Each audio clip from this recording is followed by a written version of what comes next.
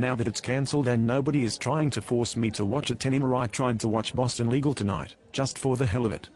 This be the first time in like three years that I'd seen it. Quickly lost interest as the plot seemed secondary to geriatric Talluwica jokes, and while I understand that David E. Kelley is getting up there in age, clearly his sense of humor isn't.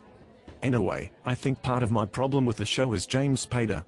Part of it is his fault, he's gotten damn fat, but part of it isn't, I guess.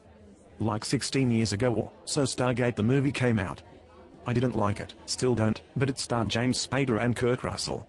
Eventually this spawned the long-running TV series called Stargate, SG-1 where Davies MacGyver plays the Kurt Russell part and Michael Shanks plays the James Spader part. I love this show. In many many ways it's the ultimate American science fiction show.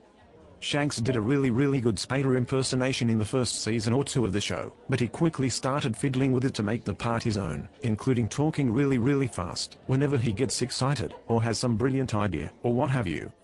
After a decade, really, and 210 episodes on the show, there's only the barest ghost of Spader's original portrayal of the character left.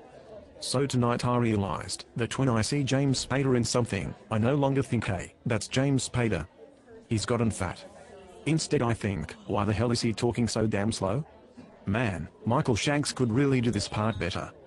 Damn.